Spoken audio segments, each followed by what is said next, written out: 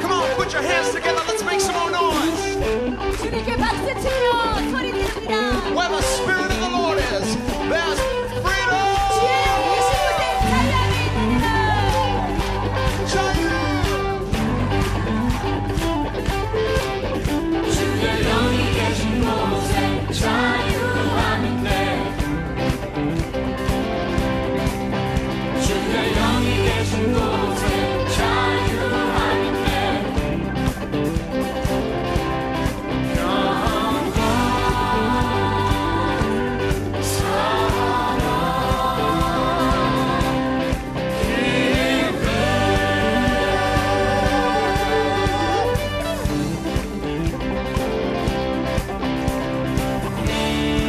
again.